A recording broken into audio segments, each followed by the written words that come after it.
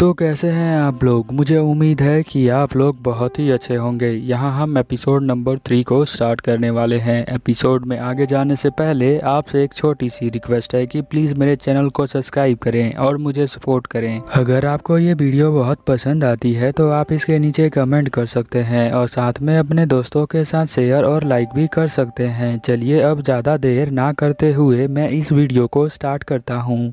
जैसा कि हमने पिछले एपिसोड में देखा था कि यहाँ पर काजुमा जो होता है, अपने डैड से लड़ रहा होता है। इनसे लड़ने के बाद अपने भाई रेन के साथ यहाँ पर होटल में आया होता है, जहाँ पर विंड गटर का एक हमला हो जाता है। काजुमा से बदला लेने के लिए आयोना भी यहीं पर आई होती है। वो यहाँ पर उसे लड़ने आती है बट हम दूसरी तरफ़ देखते हैं कि यहाँ पर एक और लड़का आ जाता है, जिससे जो है वो हमारा काजुमा लड़ रहा होता है बट वो जो है यहाँ पर रेन को ले जाता है। है। अब हम इसके आगे देखते हैं। हम देखते हैं कि यहाँ पे जो बिल्डिंग नीचे गिरी होती है, उसको इन्वेस्टिगेशन करने के लिए कुछ पुलिस अफसर यहाँ पर आ जाते हैं और साथ में दो लड़कियाँ आती हैं जिनको मैजिक की समझ होती है। यहाँ पर ये दोनों कहती हैं, बिल्डिंग को देखने के बाद कि ये कोई नॉर्मल वेपन का काम नहीं है, क्योंकि यहाँ पर ना तो इसके अंदर फायर मैजिक ना वाटर मैजिक ना अर्थ मैजिक का यूज़ किया गया है। इससे भी ज़्यादा जो पॉसिबिलिटी लग रही है मुझे, वो विंड मैजिक की लग रही है। फिर इसकी दूसरी दूसरी साथी जो होती है, वो कहती है कि इन्वेस्टिगेशन के दौरान तो हमें लगा नहीं कि कोई विंड मैजिक का यूज़ करके इतना बड़ा अटैक कर सकता है। तो उसकी दूसरी साथी कहती है कि तुम्हें नहीं पता है कि एक पावरफुल मैजिशन यहाँ पर आया हुआ है बाहर से जापान के अंदर।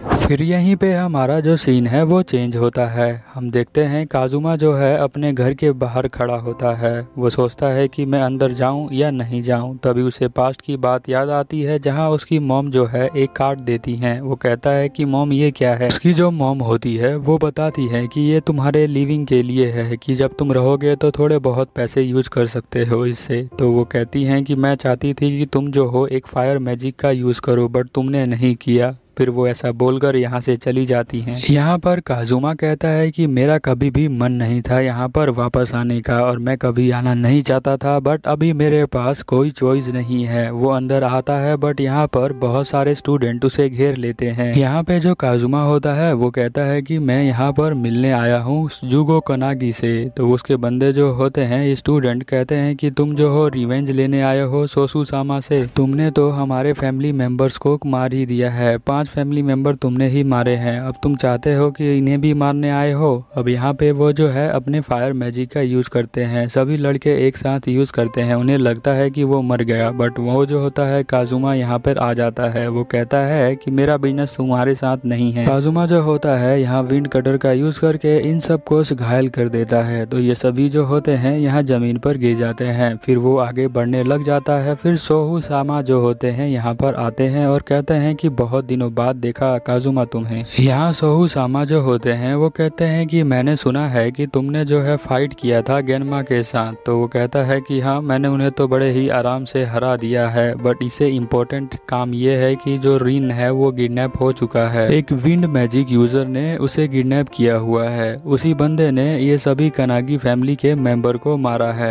मैं यही बताना चाहता था आपको। तो यहाँ पे सोहू सामा कहते हैं, चलो अंदर आके बात करते हैं। मुझसे कुछ और भी पूछना है तुमसे। फिर वो दोनों जो है यहाँ से चलने लग जाते हैं। फिर हम यहाँ देखते हैं कि एक तरफ़ जो है आयोना आई होती है, वो जल्दी से भाग कर घर की तरफ़ जाती है। वहाँ देखती है कि बहुत सारे स्टूडेंट जो हैं वो घायल पड़े हुए हैं। वहाँ पर एक खड़ी लड़की जो होती है, वो बताती है काजुमा यागमी जो है यहाँ पर आ चुका है। दूसरी तरफ़ हम देखते हैं कि यहाँ पे सोहू सामा जो होते हैं, काजुमा को एक बुक देते हैं। देखने के लिए कि कौन सा वो लड़का था तो वो पहचान लेता है। वो कहता है कि यही वो लड़का था बट इसके चारों तरफ़ जो है गोस्ट स्प्रिट घूम रहे थे। सोहू सामा कहते हैं कि ये तो युया काजमी है, और यहाँ पे हम देखते हैं कि आयोना जो होती है, वो बड़े ही गुस्से में यहाँ गेट खोल के अंदर एंटर करती है, और वो बहुत तेज चिल्लाती है, कहती है कि तुम बहुत बेकार हो और तुम्हारी हिम्मत कैसे हुई? तो उसके डैड उसे देख कर चिल्लाते हैं। यहाँ पे आयोना के जो फादर होते हैं, वो कहते हैं कि तुमने तो एक स्वर्ड निकाल लिया है अपने गेस्ट के सामने, ये कैसी तमीज है? बट आयोना कहती है कि इसने तो हमारे फैमिली मेंबर्स को मारा है और यही विंड यूज़र है। काजुमा कहता है कि जैसा कि मैंने पहले ही भी कहा था कि उनको मैंने नहीं मारा है तो यहाँ सोहूसामा कहते हैं कि तुम्हें पता होना चाहिए कि एक और विंड यूज़र है।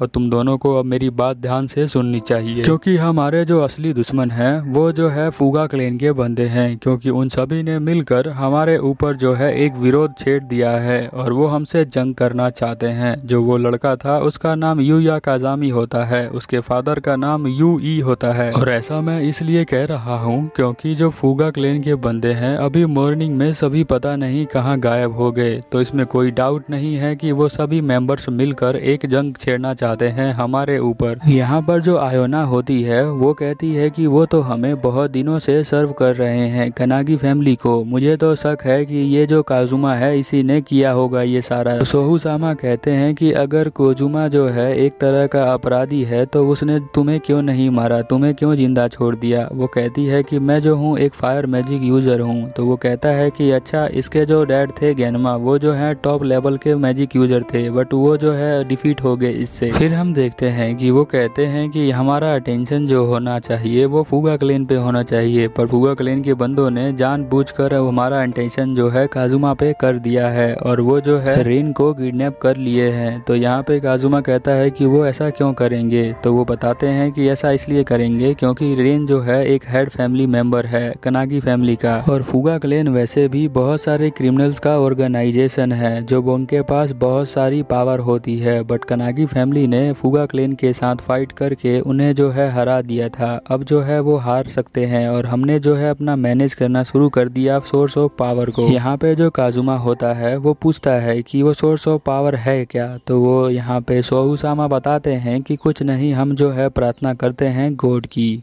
और गॉड की पूजा करने के बाद हमें जो है पावर मिलती है। बट यहाँ पे फुगा क्लेन के बंदे हैं, वो यूमा को बुलाना चाहते हैं। यूमा को बुलाने के लिए रेन को सेक्रीफाइस करना पड़ेगा। यूमा जो है एक तरह का ईवल गॉड है। यहाँ पे काजुमा जो होता है, वो कहता है सेक्रीफाइस उसका मतलब क्या है? तभी सीन चेंज हो जाता है और यहाँ पे रेन जो है लेटा हुआ होता है। ये बेहोश है। तो यहाँ पे जो यू ई होता है, वो देखता है कि बहुत समय बाद हमने जो है एक प्रोसीजर ढूंढ लिया है। जो बहुत बहुत दिनों तक छुपा के रखा गया था हमसे। हम जो है, अब लोकेशन भी फाउंड कर लिया है सील का। रेन को सेक्रीफाइस करने के बाद फुगा क्लेन के जितने भी बंदे होंगे, उन सभी की विश पूरी हो जाएगी। जैसे कि इससे पिछली बार हुआ था कि उन्होंने मेरे सन को चूज़ किया था ईवल स्प्रिट के रूप में। और सारी ईवल स्प्रिट जो है, मेरे सन के अंदर आ गई थी, जिससे कि वो जो है, अब बहुत ज़्यादा पावरफुल हो गया है। अब यहाँ पे जो रेन है, उसका सेक्रीफाइस करने के बाद जो मेरा लड़का यूया है, उसके अंदर बहुत सारी पावर पावर आ जाएगी और वो जो है यहाँ पर होस्ट बनेगा और एक ग्रेटर पावरफुल मैजिक को प्राप्त करेगा। बहुत समय पहले कनागी फैमिली ने इसको जो है सील्ड करके रखा था ग्रेट यू माँ को। अब हम देखते हैं कि यहाँ पे सोहू सामा बताते हैं कि उसको सील को टच करने पर कोई भी हो वो जो है जल जाएगा। फिर हम देखते हैं कि रेन के अंदर जो है ईवल स्पीड जो है वो घुस जाती है जिसकी वजह से रेन जो है अब अपने बस में नहीं होता है। उसकी बॉडी जो है अब बस टच कर देगी जिससे कि वो जल जाएगा। यहाँ जो सोहू सामा है, वो कहते हैं कि वो जो है, वो सभी मेंबर फुगा क्लेन के, वो बहुत सारी पावर पाना चाहते हैं, इसीलिए वो ऐसा कर रहे हैं। यहाँ पे आयोना जो होती है, वो कहती है कि रेन कहाँ है? और वैसे भी फुगा क्लेन के बंदों को हम लोग माफ़ नहीं कर सकते। कनागी फैमिली ने उन्हें दुश्मन मानते हुए भी उन्हें अपने छत के नीचे रखा है, और वो लोग ऐसा कर रहे हैं। उन्हें तो हमारा शुक्रिया अदा करना चाहिए इसके लिए, बट वो जो है, ये इतना गंदा काम कर रहे हैं, इसके लिए मैं कभी उन्हें माफ़ नहीं करूँ करूँगी और ये जो है अनजस्टिफाई है कि वो ऐसा गलत काम करेंगे, ये बहुत ज़्यादा रॉन्ग है। काजुमा जो होता है, वो कहता है कि अनजस्टिफाई क्या है इसमें? तुम जो हो, गलत सोच रही हो।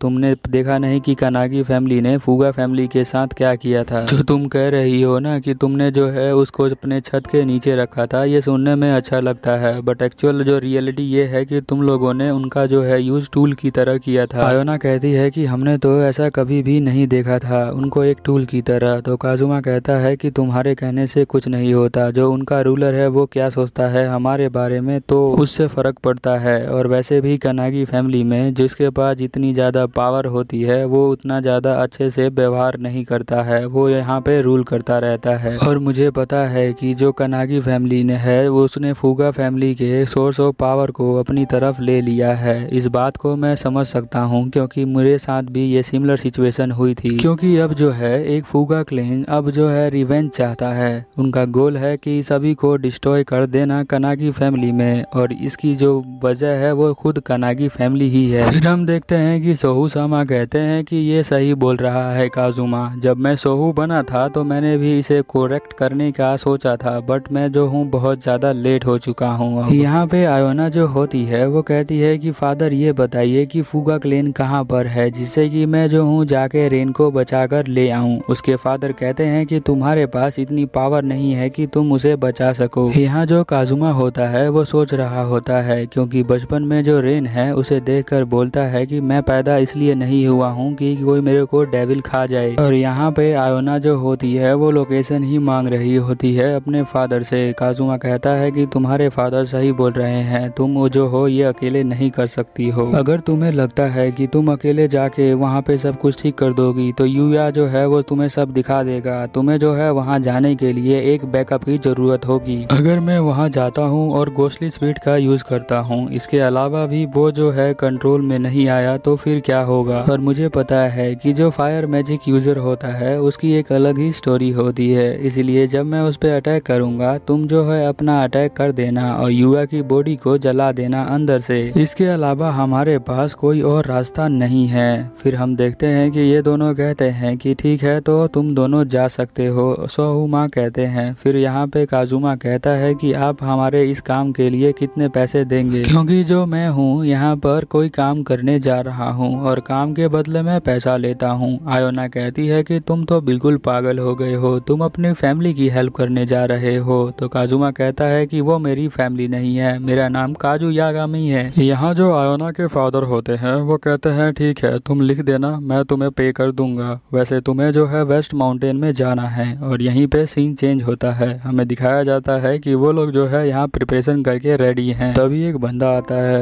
यू ई को कहता है कि सभी बंदे इकट्ठा हो गए हैं। तो यू ई कहता है कि चलो फिर हम लोग है प्रोसीजर को स्टार्ट करते हैं और उसके बेटे को कुछ सेंस होता है। तो वो जो कहता है कि क्या कनागी वाले आ गए हैं क्या? हम तो कुछ ही देर में यहाँ पे रेन की बॉडी को जला देंगे और सील जो होगा वो रिलीज़ हो जाएगा। दूसरी तरफ़ हम देखते हैं कि काजुमा और आयोना दोनों गाड़ी से जा रहे होते हैं। यहाँ पर वो कहती है आयोना की थोड़ा ध्यान से चलाओ। काजुमा कहता है कि, तुम मुझे डिस्ट्रैक्ट कर रही हो तो तुम थोड़ा शांत होकर बैठो। फिर हम देखते हैं कि यहाँ उसके फादर ने उसे समझा कर भेजा होता है। वो बताते हैं कि काजुमा ने अपने डैड को डिफीट कर दिया है। तो वो कहती है, उसने पैसा क्यों मांगा? तो उसके डैड कहते हैं कि, वो जो है अपने भाई को सेव करना चाहता है बट वो दिखाना नहीं चाहता कि वो जो है हेल्प कर रहा है कनागी फैमिली को, क्योंकि इस तरह तो एक तरह की सिंपति हो गई यानी कि दया दिखाना अपनी फैमिली के ऊपर। वो जो है इसलिए वो नहीं चाहता कि वो अभी मेंबर बने कनागी फैमिली का। और ये का जो है एक तरह का काम है तो तुम दोनों को जो है एक दूसरे पे ट्रस्ट करना पड़ेगा। तभी तो तुम अपने एनिमी को डिफीट कर पाओगे। तभी यहाँ काजुमा कहता है कि हमें जो है यहाँ गाड़ी से बाहर निकालना पड़ेगा।